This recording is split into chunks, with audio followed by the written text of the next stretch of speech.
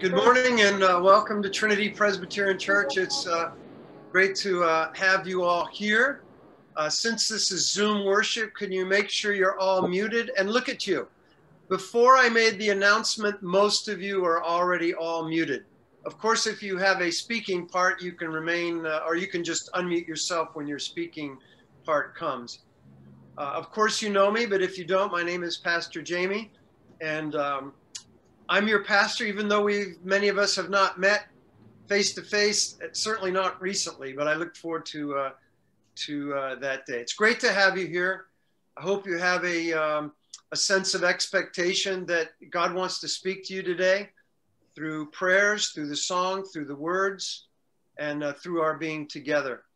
A few announcements. Just a reminder: Thursday night is Bible study night, 6:30. If you haven't joined us, please uh, consider it and certainly if you're a regular, we're on again this uh, Thursday. If this is your church home, just a reminder that even though we're not meeting in the building, we still have uh, ministry needs. So um, please continue to um, make your uh, pledges. And I'm sure Carla and the team uh, will be excited about, about that.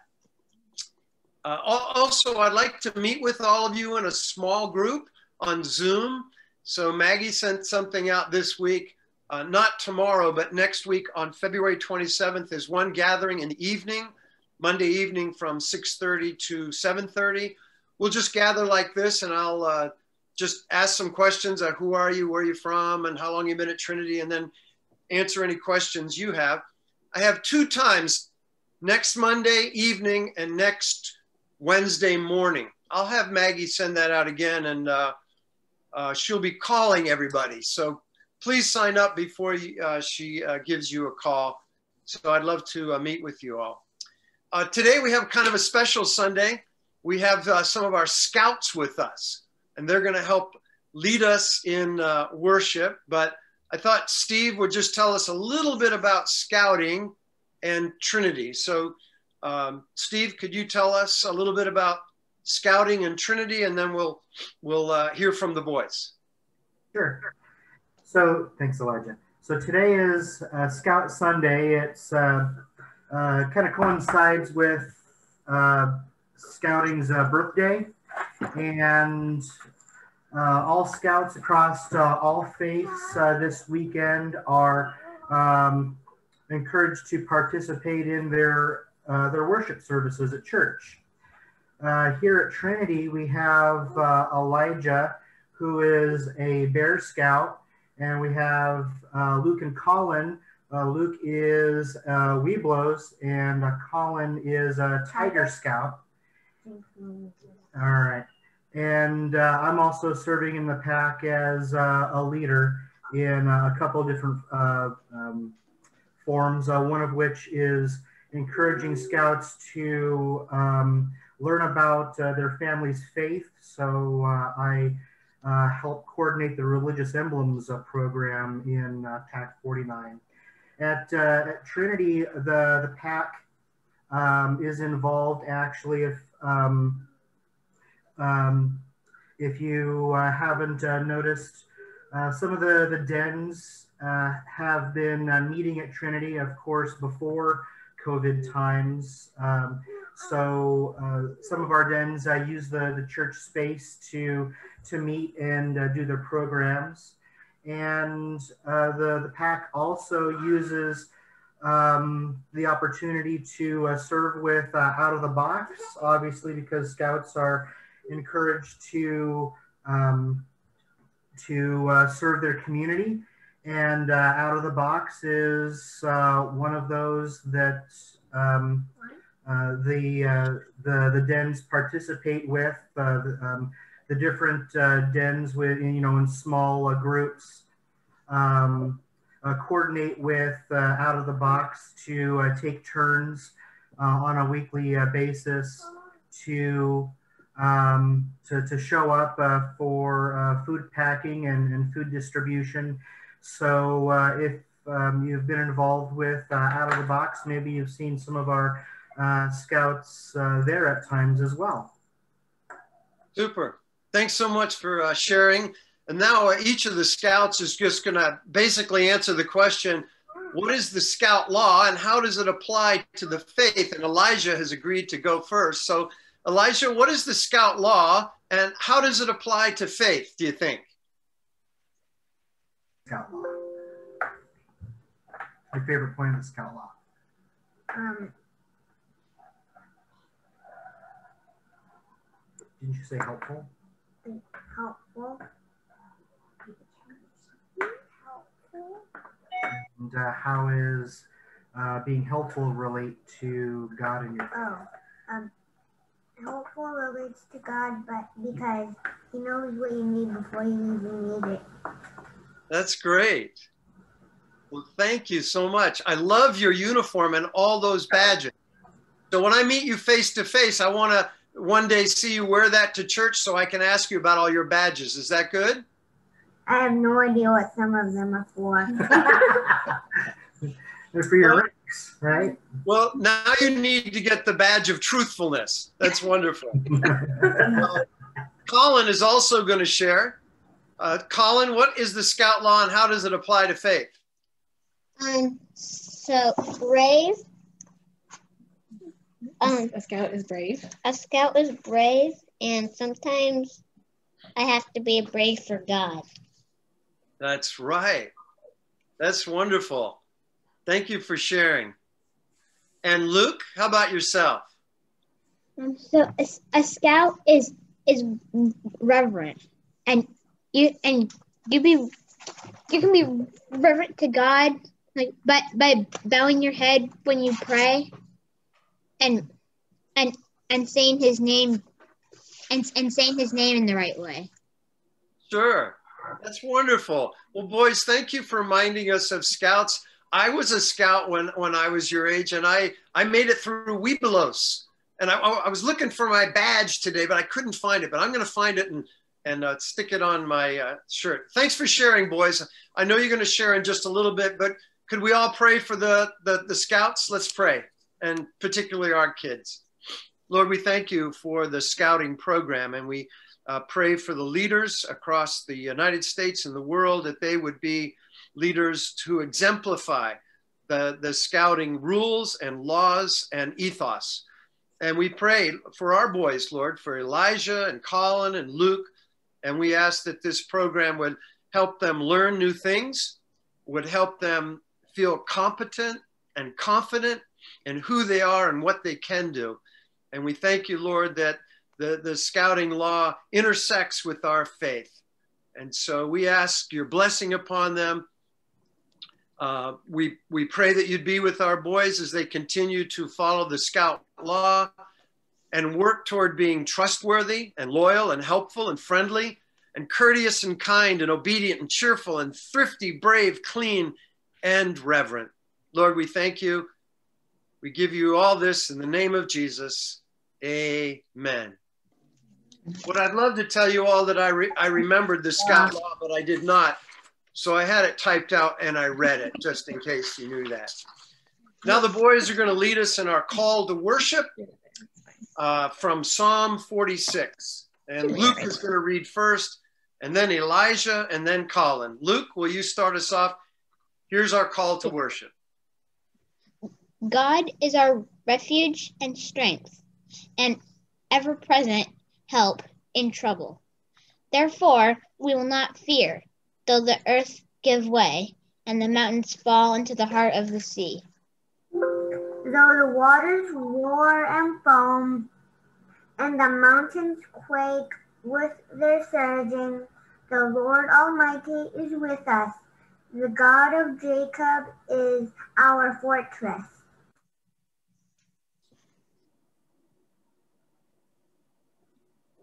God God says, Be still and know that I am God. I will be exalted among the nations. I will be exalted in the earth. The Lord Almighty is with us. The God of Jacob is our fortress. Fantastic, boys. That's wonderful. I'm sure that was a delight to our God.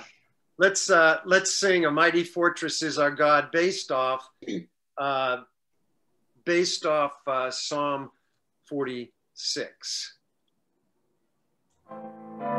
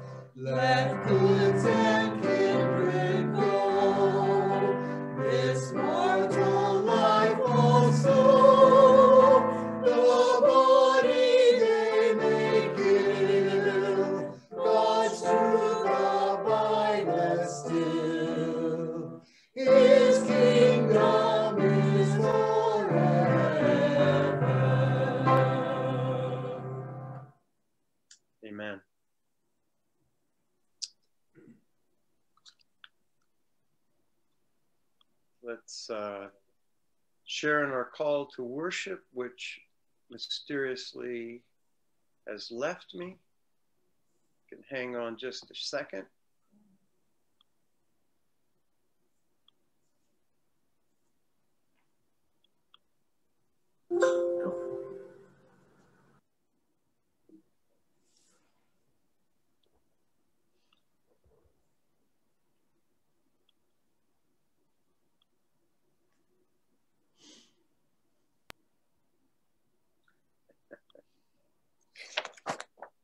Gracious God, we confess that we have longed too much for the comforts of this world.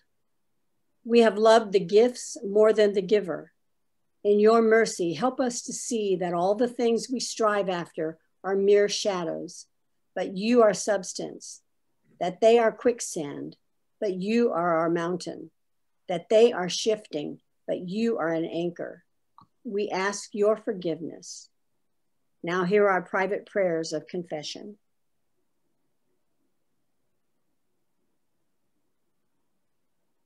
We pray all this in the name of Jesus, who taught us to pray Our Father, who art in heaven, hallowed be thy name.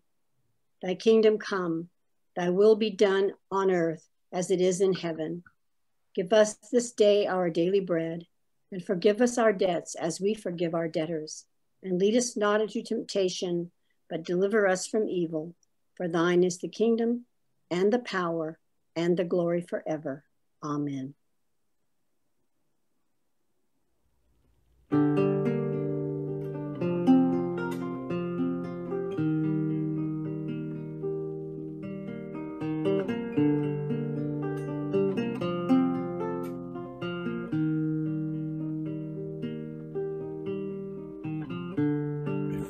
spoke a word, you were singing over me. You've been so, so good to me. Before I took a breath, you breathed your life in me. You've been so, so kind.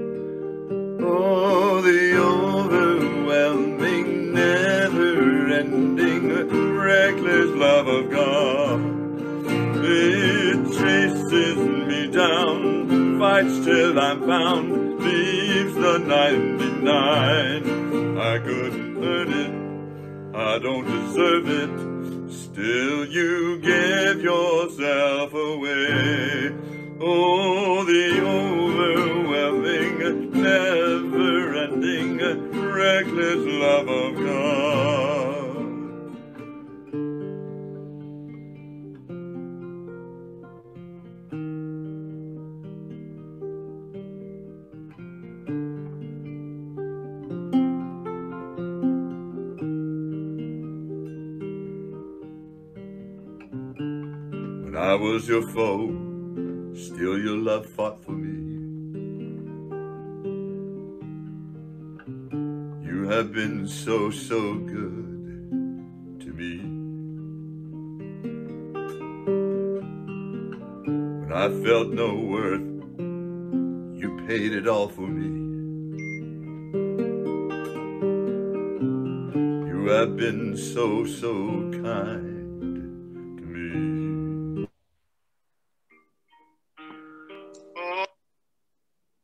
Can you all hear me? Yes. So you weren't able to see the video, right? No. No, just the audio. Great. Hang on just a second.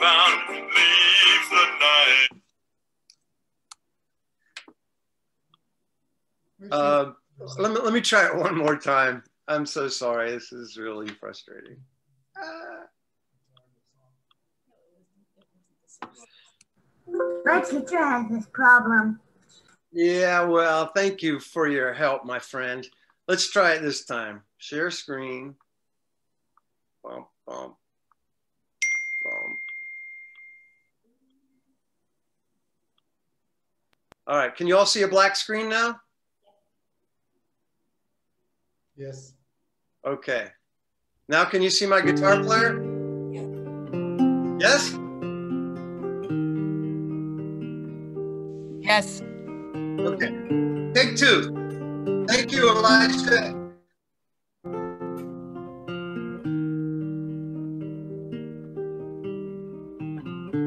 Before I spoke a word, you were singing over me.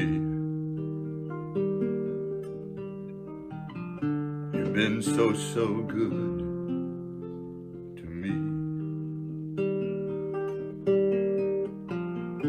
I took a breath, you breathe your life in me.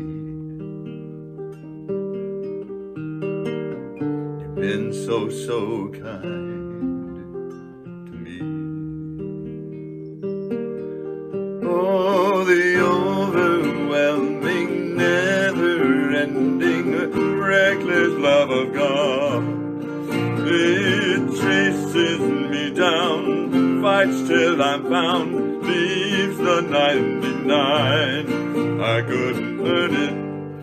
I don't deserve it,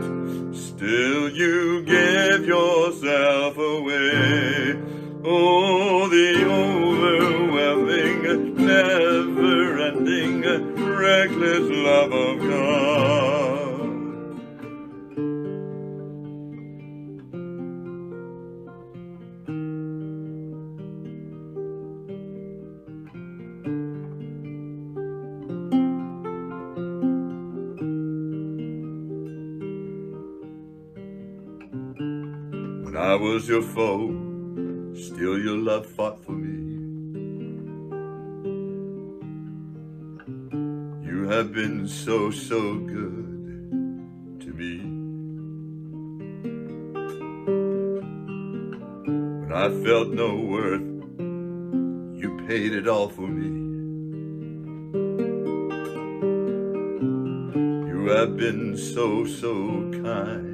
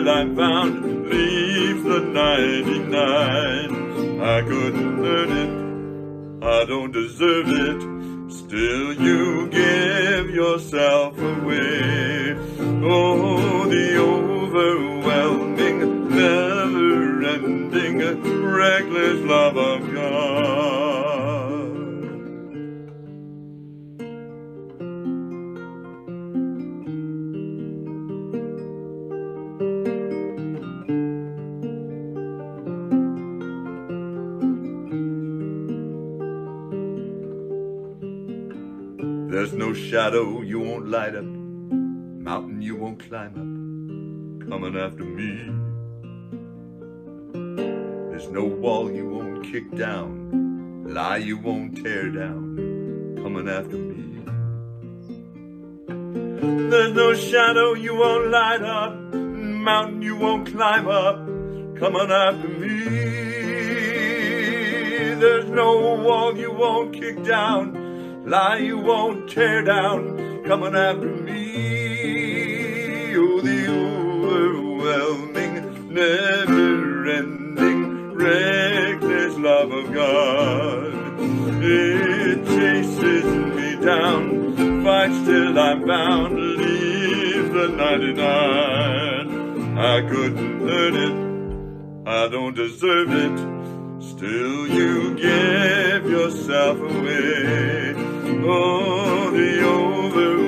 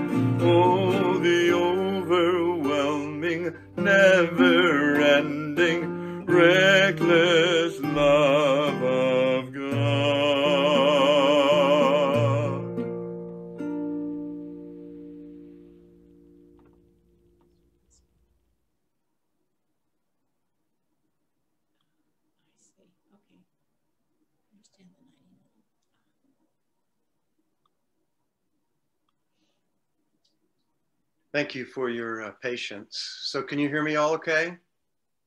And you can see me all okay, right? Good deal. One of the most asked questions in life, whether you're a follower of Jesus or not, is this Why does God allow suffering? Why does God allow bad things to happen, not just to quote unquote bad people, but to good people as well? This morning, we're going to think about this question. Now, there's not an answer that will fully satisfy it, but I hope that uh, this message will help you be uh, comforted, encouraged, and find hope in this broken world. We are uh, in a sermon series called Pursued. We are pursued to be pursuers. And there should be some PowerPoint coming up. Do you see PowerPoint yet? No? Okay. Well, Terry's working on that. Um, let's see here. Mute. I don't have permission. All right. Let me give you permission. There you go. Permission granted. Hmm. And uh, we'll right over to here.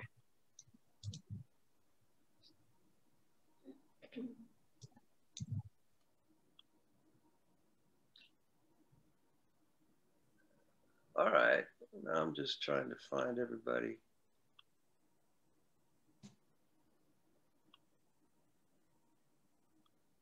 All right, there we go. All right, so we're in a sermon. You can hear me all okay, right?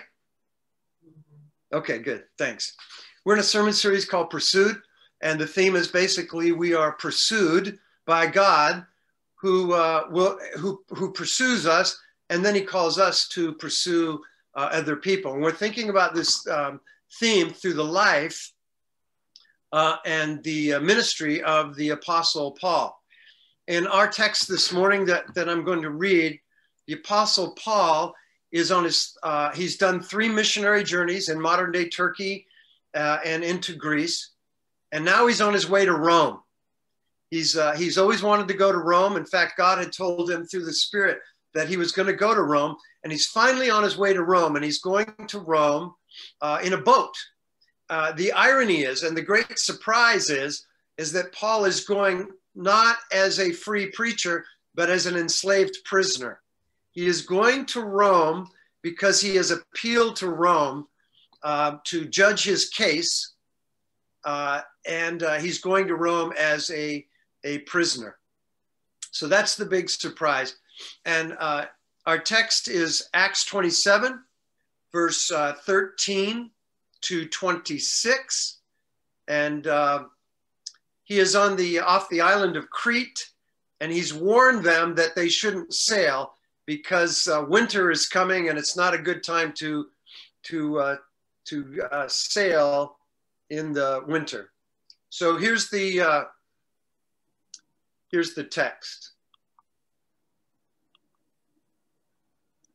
When a gentle south wind began to blow, they saw their opportunity. So they weighed anchor and they sailed along the shore of Crete. Before long, a wind of hurricane force called a northeaster swept down from the island. The ship was caught by the storm and could not head into the wind. So we gave way to it and we were driven along. As we passed to the lee of a small island called Cauda, we were hardly able to, to make the lifeboat secure. So the men hoisted it abroad. Then they passed ropes under the ship itself to hold it together. Because they were afraid they would run aground on the sandbars of Syrtis, they lowered the sea anchor and let the ship be driven along.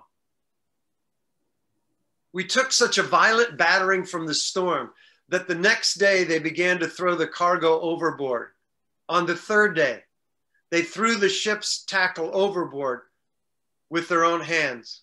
And when neither sun nor stars appeared for many days, and the storm continued raging, we finally gave up all hope of being saved. After they had gone a long time without food, Paul stood up before them and said, Men, you should have taken my advice not to sail from Crete. Then you would have spared yourselves this damage and loss. But now I urge you to keep up your courage, because not one of you will be lost, only the ship will be destroyed. Last night, an angel of God, to whom I belong and whom I serve, stood beside me. And he said, Do not be afraid, Paul. You must stand trial before Caesar. And God has graciously, graciously given you the lives of all who sail with you. So keep up your courage, men, for I have faith in God that it will happen just as he told me. Nevertheless, we must run aground on some island. May uh, God bless the reading and the teaching and the hearing and the living out of this, his living word. It was March 10th, 1984. Ed Warren, Pastor Ed Warren, got up on a hot North Carolina summer morning. He kissed his wife and two boys goodbye, got in a car, and headed to a pastor's conference. They were driving from North Carolina to Florida. And when they got to Florida, they were rather tired. So he and three of his pastor buddies got out of the car, got to uh, a cup of coffee, got back in the car, and headed back to their conference in Southern Florida. As they were driving down the road, a truck was coming towards them. The truck hit a metal pipe in the road. The pipe flew up, hit Ed Warren in the head through the windshield, killing him instantly. Ed's wife was now a widow. Ed's two boys were now fatherless. Ed's younger brother, my friend of over 30 years, Larry, would now have a crisis of faith. His questions were questions that you and I ask when we were in a similar situation or when we, why didn't God prevent this from happening? Why was the timing such one second either way would have meant Ed would have lived? Can we really trust God with our lives in life and in death? Why, God? Why?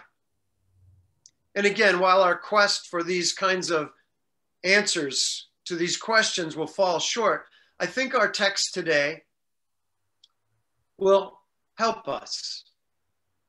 The Apostle Paul is in the middle of a storm. And as with many storms, as times passed, the storm got worse and worse. The text opens up in verse 4 and says, The winds were against us. I mean, they're just kind of unsettling winds, but nothing to be too alarmed about. But certainly, those winds being against us turned into a wind of hurricane force that crashed against their boat. See, what started off as a difficult day ended up being a life threatening situation. So the crew did everything they could to survive. They pulled in the lifeboat, they passed ropes underneath the, the boat to, to keep it together. Um, they lowered their anchor to act as a brake. And after they pulled in the lifeboat, wrapped the vessel with rope, threw out the anchor, they started to throw the cargo overboard to lessen the weight. And finally, verse 19 says, On the third day, they threw the ship's tackle overboard with their own hands. They were doing anything and everything they could to survive the storm. All this effort did nothing to calm their hearts. Verse 20 describes their feelings and the scene really well. It says this When neither sun nor stars appeared for many days, and the storm continued raging, we finally gave up all hope of being saved. I mean, what a description. They gave up all hope. When the sun nor stars appeared for many days, they gave up all hope. Now, the author of this, Dr. Luke, is writing actual history, and he goes to great lengths to talk about uh, navigating a ship through storms and the geography. But Luke is also writing theology here. He not only wants us to know the history, but he also wants us to know how does this apply to our lives? That we as followers of Jesus will experience storms and what are the anchors that can tether us in our faith when we experience storms? What will anchor you in your storms? Storms in the past, what, what kept your faith from sinking? Storms yet to come. What will keep you anchored when the winds and the waves are not just a, a soft gale wind, but are bashing against our souls? And when, when we get in storms, we tend to work harder. We tend to, you know, haul in the lifeboat, duct tape our emotions, um, throw things out of our lives. But, but that may help when the winds are just calm. But, but when we're in a hurricane like storm, these kind of efforts are insignificant. When cancer comes, or our efforts feel but a band aid, when life is taken in an instant, when a marriage dissolves, or when children are out of control, or when addiction just won't go away, our efforts just fall short. So we need some anchors. And there are many in the scriptures, but out of this context, I want us to think about three, three anchors.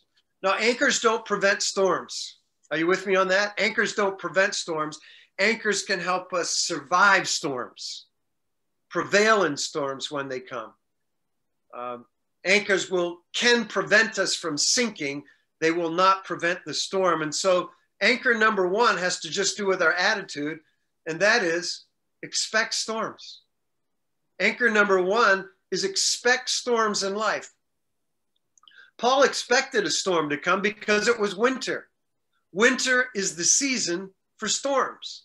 And that's why he warned them. They expected storms to come because it was the season for storms. And when the uh, Apostle Paul was first called to be a pursuer of other people, God had told him that you're going to suffer.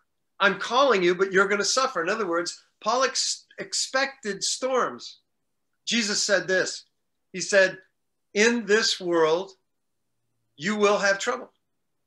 In this world, you will have trouble. That's really clear. He said, You will. He said, Expect storms. He said, No servant is greater than his master. They will, if they persecuted me, they will persecute you also. What Jesus is saying is that every day on planet Earth is the season for storms. Every day on planet Earth is the season for storms. It doesn't mean we're going to have a storm every day, but it's going to be that storms are the natural ebb and flow of life, whether you're a follower of Jesus or not. And for Paul, when he experienced storms, he wasn't surprised. It didn't shake his faith because, because that's what God had told him ahead of time.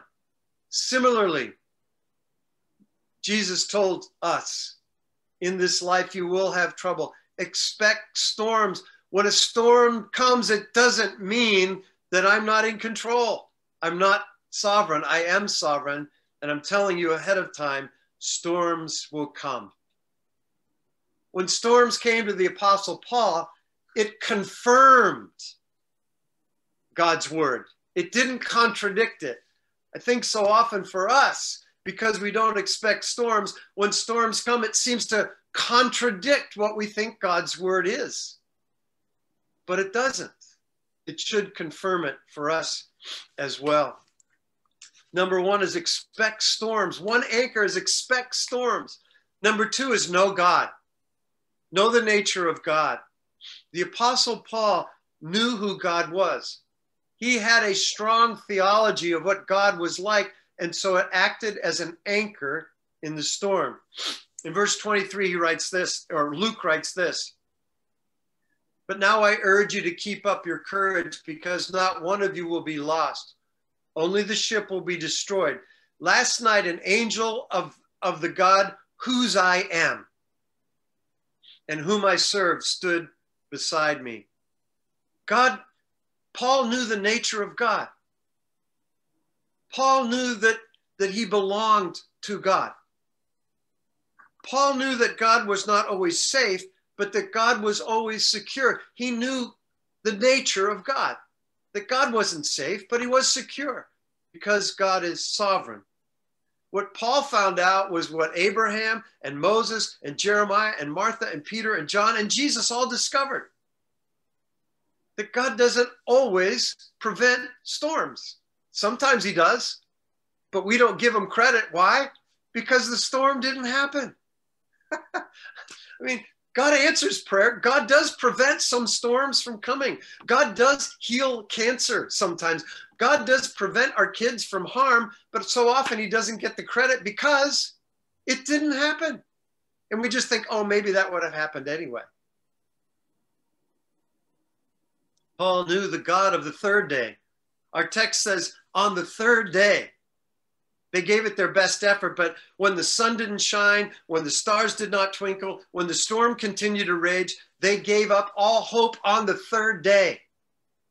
I think Luke is, is telling us something by this phrase on the third day. Have you ever heard that phrase before? On the third day? On the third day, or at least on the beginning of the third day, things can seem so hopeless. Things can seem so dark unless you know the God of the third day. Unless you know the God of the third day. Remember this story? On the third day, little Isaac asked his daddy, Daddy, where's the sacrifice? I see the fire, I see the wood. But daddy, on the third day, little Isaac asked, Where was the offering? And on that third day, Abraham, in the beginning of the third day, Abraham must have felt so hopeless. On that third day, it must have been very dark for Abraham. But it was on that third day that Abraham learned to trust God and his word. For Abraham delivered God and provided a lamb at the end of the third day. It was on the beginning of the third day when a messenger came into the camp of David and told them that the king of the land, Saul, and David's best friend Jonathan was dead. The king of the land, the anointed one of God, and his best friend were dead. So, life on the third day, at the beginning of the third day for David, must have felt so starless. so hopeless, so dark. It sure didn't look like that.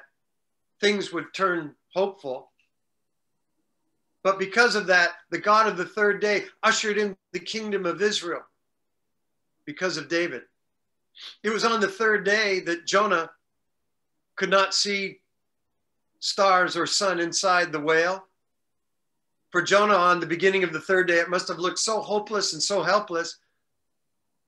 But it was on that third day, towards evening, that the light began to shine in the darkness. It was on the third day that Jonah moved from disobedience to obedience. Hopelessness turned to great hope on the third day for Jonah. And it was on the third day, on the morning of the third day, that two women got up very early in the morning while it was still dark. And when they reached the tomb to anoint their dead leader, the stone was rolled away. And on the third day, things got worse. It was on that third day in the morning, on that morning of darkness and despair, when their hearts were heavy and life was limp, that these women went to the tomb. On the third day, the storm raged for them. But it was on the later in the morning, on the third day, when they appeared, an angel appeared to them and he told them good news. He has risen just as he said. It was on the third day that they encountered the living Jesus. It was on the third day that the sun came out. It was on the third day that death was defeated.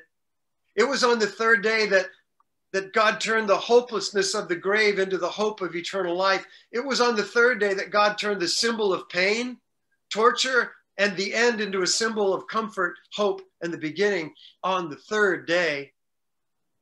On the third day, Luke tells us. Paul knew the God of the third day. Paul knew that darkness wasn't the final word. Paul knew that death wasn't the final word because he knew God. He knew that God isn't always safe, but that God is always secure. Anchor number one, expect storms. Anchor number two, know God. God is the God of the third day. Anchor number three is know yourself. In other words, know what you are in God's eyes. Know who you are. The Apostle Paul not only knew God, but he knew who he was in God's eyes as well. In verse 23, Paul says, An angel of the God whose I am and whom I serve. See, Paul knew he was a servant. Paul knew his life wasn't his own.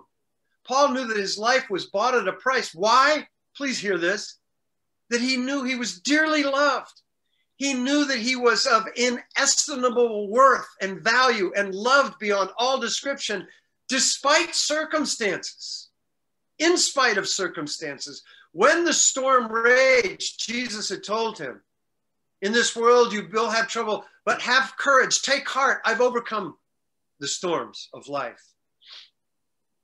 You see, no matter how long you've been a Christian, no how, matter how long you've been a follower of Jesus, no matter how mature you are in the faith, when storms come, and they will come, it, it rocks our faith. The very best of us, even though we're tethered with different anchors, we still tend to drift. We still tend to wander because of storms. Storms can test our faith like nothing else. Think of Jesus in the Gospel of, uh, I, I believe, Matthew, right before he's tested, it shows he's being baptized. Remember this? And a voice from heaven, it's God saying, This is my son, whom I love. With him I'm well pleased. God says that about each and every one of you. This is my daughter, whom I love. With them I am well pleased. This is my son, whom I love. With him I am well pleased. This is my son and daughter. With you, I'm well pleased. Why? Because you're dearly loved. The very next scene, after Jesus is told by God that you're my son and I love you dearly, the very next scene, Jesus suffers. And the evil one tries to tempt him in the suffering. Remember, Jesus goes into the desert. He's tested for 40 days and 40 nights. And the evil one comes to him and says, If you are the Son of God, tell these stones to become bread. If you are the Son of God. The word if implies this. If you're really the Son of God and loved by God so much, why are you suffering so? If God really loves you, you wouldn't be suffering. But because you're suffering, maybe God doesn't love you as much as you think he does. Take matters into your own hands. Don't trust God. Turn these stones into bread. You have the power to do it. You see, even for Jesus, when he was tempted, when a storm came into his life, that was a, a time where the evil one came in and tried to test his faith. Paul knew that he was loved, dearly loved. And when the storm came, that didn't shake him as much. Number one, expect storms. Number two, know God. Know that God is the God of the third day. And anchor number three, know yourself. Know that you are dearly loved. God so loved you, not just loved you, but so loved you that he willing to send his one and only son to die so that your sins can be forgiven, so that you can experience fullness of life now and in the life to come. Three anchors. Well, it's been over 30 years since Ed Warren met his tragic death in that freak automobile accident. Larry and I have kept in touch over the years. I just talked with him a couple days ago.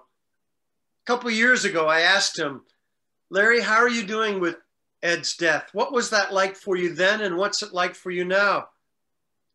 And Larry said that there's been a lot of good that's come from this terrible accident. He said that God has and is redeeming the day of ruin. He said that God has and is redeeming the day of ruin. Larry told me that for him, it's made him so aware of the brevity of life. Ed's sudden death helped him to realize what's really important, and people are important. Larry told me that Ed's death made him uh, so much more sensitive to the suffering of others, so much so that Larry changed his career plans. He left the business world and he and his wife and four boys went to Kenya to serve in the name of Jesus. Larry now heads up a group called Leadership International that trains thousands of African pastors. And for over 30 years now, uh, Leadership International, led by Larry Warren, has helped thousands and thousands and tens of thousands of people grow and mature in their faith. Ed's accident happened on March 10th, 1984. And for years, March 10th was a sad day in the Warren household. It was a day that they got that phone call. It was a day of devastation. It was a day of sadness and storms. It was a day when the sun did not shine and the stars did not twinkle. And for 10 years on that day, March 10th, that was the way it was until 10 years later, on March 10th, 1994, Larry and Mary Warren gave birth to a little baby. They named him Joshua. Joshua means salvation has come. And in a sense, salvation had come to Larry and Mary. Because while March 10th was still a day of sadness, God had redeemed that day. And on March 10th, brought forth a new day, a new day with little Joshua. So on March 10th, over the years, they'd have a birthday party. And the day of sadness and sorrow was replaced with some light, with singing and joy. Not fully, but mostly and mainly. And Larry looks forward to another day, the day when all relationships will be fully redeemed. And when he sees his Lord and when he sees his brother face to face. I have three questions for you to help you apply this sermon and this text. The first question is, is this What storm has happened in your life that really rocked your faith? And why do you think it did? What storm has happened in your past that really rocked your faith, and why do you think it did? Question number two is Of the three anchors, expect storms, know God, know yourself, which one is particularly helpful for you? Which anchor do you think you need to incorporate more in your life? And question number three is what do you think you can do to prepare yourself and your faith for the next storm? What do you think you can do to prepare yourself and your faith for the next storm? Jesus said, In this life, there will be storms, but we are to have courage. One of the ways we can actively have courage is to drop some anchors, expect storms. Every day is storm season on the sea called earth.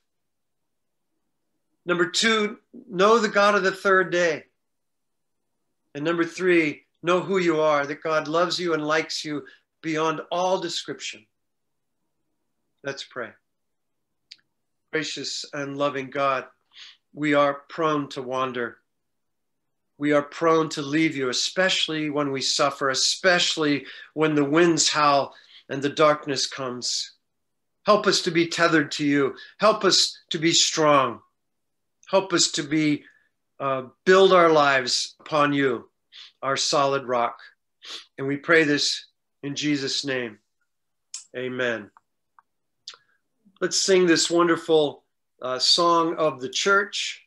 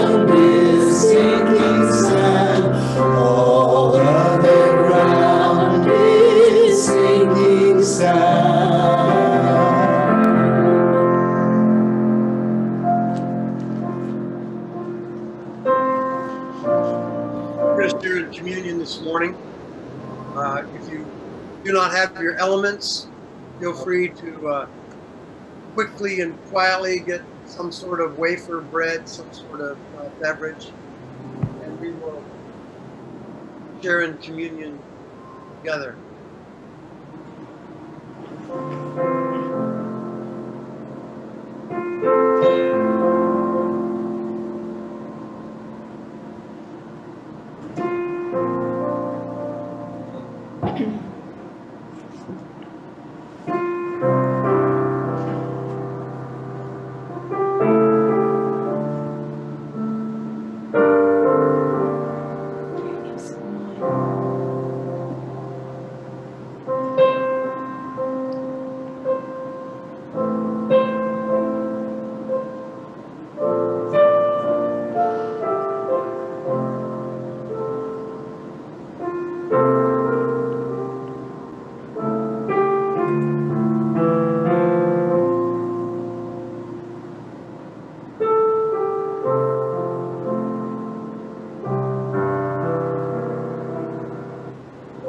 The very night when a storm was raging, in Jesus' life.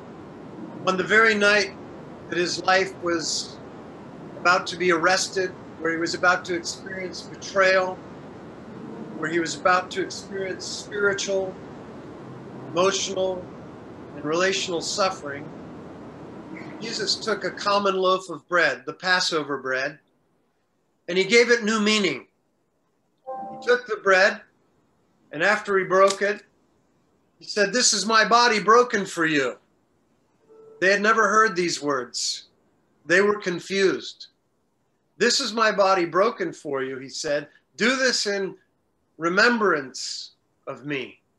Remember. Likewise, he took the cup and he said, This cup is my blood shed for the forgiveness of sins. And then he said that wonderful word again remember. Remember. We are most prone to forget in the midst of a storm. And Jesus said, A storm is about to happen. So remember, remember. And every time we share in the bread and every time we lift the cup, what you are doing individually is you're reaffirming your faith as a follower of Jesus. And what we do as a church, we're re- reaffirming our faith as Trinity Presbyterian Church that on Christ the solid rock I stand, all other ground is sinking sand. So take and eat, take and drink, or you can take it and, and dip it. Let's partake the body of Christ, the blood of Christ.